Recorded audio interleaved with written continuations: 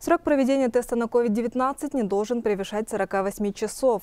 Так распорядилась главный санитарный врач страны Анна Попова. Она подписала новое постановление о санитарно-эпидемиологическом благополучии населения. Документ вступил в силу 16 ноября, а во вторник глава Якутии Айсан Николаев провел очередное собрание оперативного штаба. Руководители муниципалитетов получили указания. Для того, чтобы обеспечить быстрое значит, а, выявление самой инфекции и определение значит, в последующем при постановке диагноза а, дано поручение значит, нашим районам продолжить закупку этих тестов.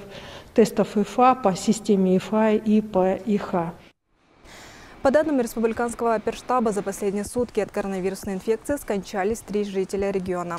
COVID-19 подтвердили у 220 якутян. 126 случаев в Якутске, 8 в Мирнинском районе, 3 в Ленском.